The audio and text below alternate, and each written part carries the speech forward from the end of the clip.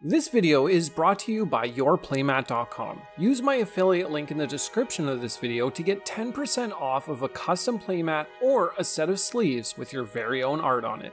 Also, watch the video to the end to learn about the giveaway I'll be doing to celebrate hitting 6,000 subscribers.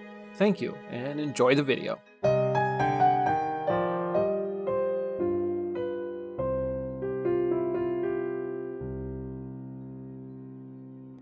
Don't think about making life better for other people who don't even deserve you.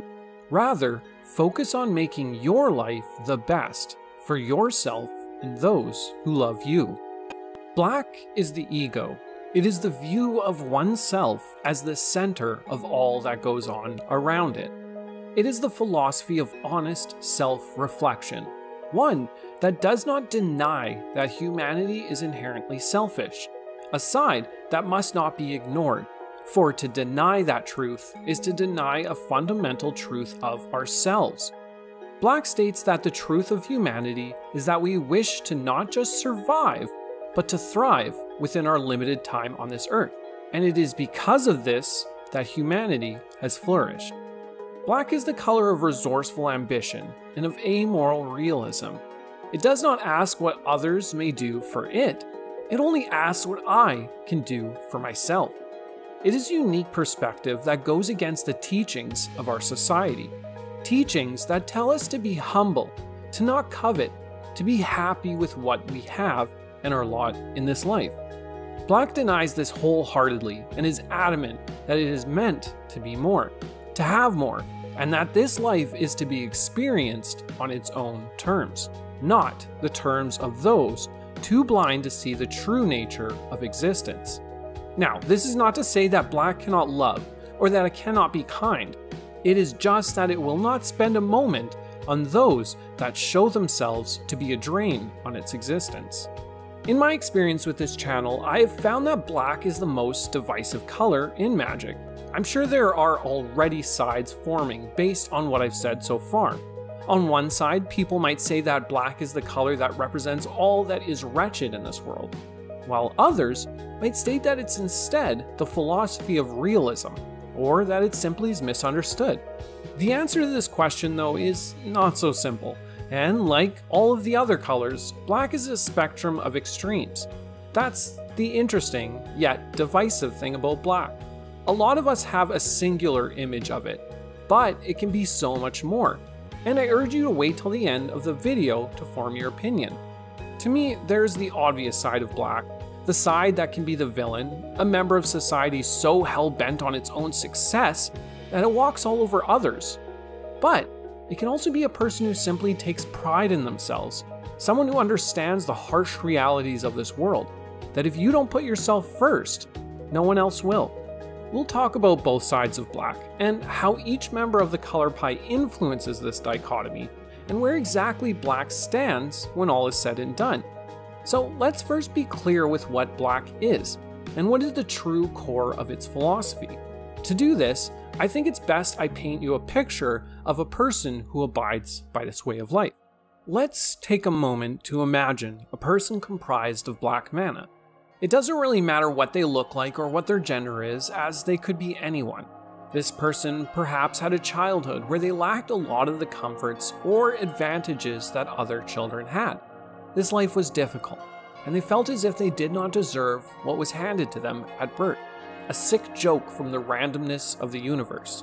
Because of this, they are resolute in their desire to gain more for themselves and to pull themselves out of their situation. What's more is perhaps this person had dealt with some severe trauma in their childhood, early enough in their life to shape their understanding of the world around them.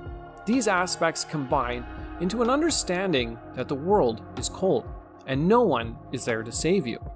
As this person gets older, they take to school as a practice run for their adult life. They make sure their grades are high, whether through studying or cheating. They make friends easily and desire many of them, either through their guile or mysterious charm, or through their ability to show each person the face they wish to see. They come off as charming, attractive, and mysterious, all tools to further their ends. Out of high school, this person leaves home as soon as the diploma is in their hand, resolved in taking everything they've learned growing up into the real world. They find success rather quickly as they're crafty, bold, and resourceful. This person climbs the ladder of their chosen career with ease, as they know what to say and do to place themselves into higher levels of power. It doesn't take long for them to become the vision of themselves they had as a kid someone successful, independent, and beautiful. When they reflect back on where they had come from and where they are now, they're filled with a well deserved sense of pride. This pride echoes out into how they present themselves. Their appearance is no longer that of the tattered and malnourished child, but is instead replaced with that of a fit figure. One they maintain regularly. They only wear the best clothes, drive the nicest cars, eat at the best restaurants, and live in the nicest homes. As each year passes, the child who suffered from poverty and abuse is merely a distant memory. They are now outwardly the person they knew they were on the inside all along. We can see here that black is the color of someone who's resolved to make their life the best that it can be for themselves. Whether it is spurred on by a rough and poor childhood or not doesn't matter. What matters to Black is the notion that they deserve to be happy and to prosper. Now, to get to this place, Black understands that rules, obligations, and arbitrary morality will only get in the way. These things are constructs placed upon us by others, and to one who understands this, there's no reason to restrict oneself arbitrarily. Now, this does not directly relate to total moral depravity, but instead is a way of thinking that refuses to place arbitrary walls in front of itself on the road to personal success. What's more is that we see Black is driven by two very strong emotions pride and ambition. These two aspects permeate within everything it does. It reaches for more and celebrates that achievement at every step. These things can be seen as a reflection of moral corruption by some, chiefly white and green, but to black, it is a purpose unlike any other.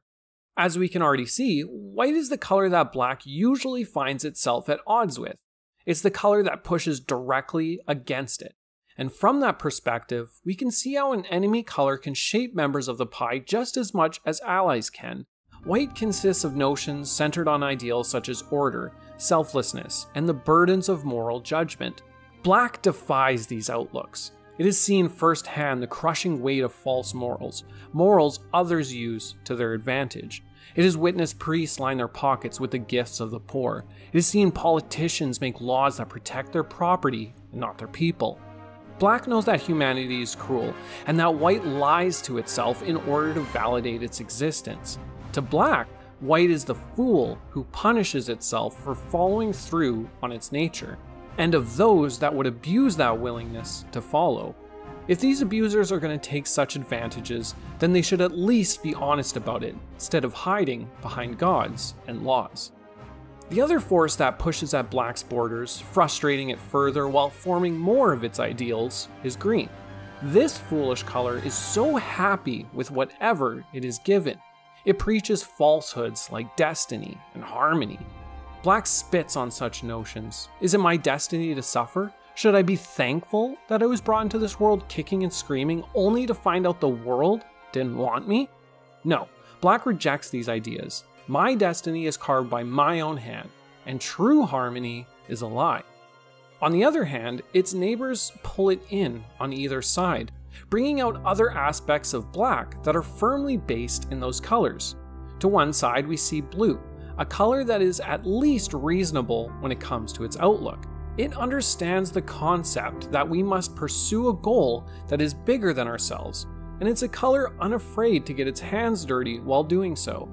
Black enjoys blue's company because blue is a color that appreciates ambition and almost obsesses over it more than black does.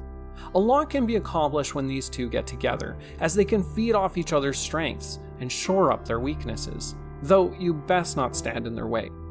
Finally, there is red, a curious color, not much worried about anything really. It's a color black can appreciate because black understands the value in having a good time, and of being honest with your emotions and intentions. It's also the color that pulls in some level of humanity to black, as without this neighbor's influence, Black would succumb to its narcissism and lack any level of empathy.